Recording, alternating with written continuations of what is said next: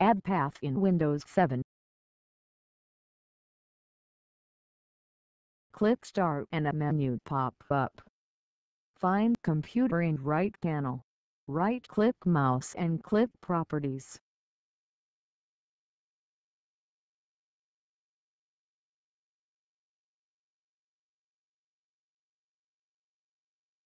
Click Advanced System Setting.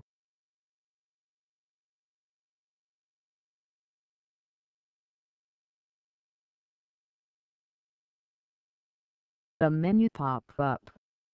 Click Environment Variables. The menu pop up. Click Path and click Edit button. Add new path using semicolon separator.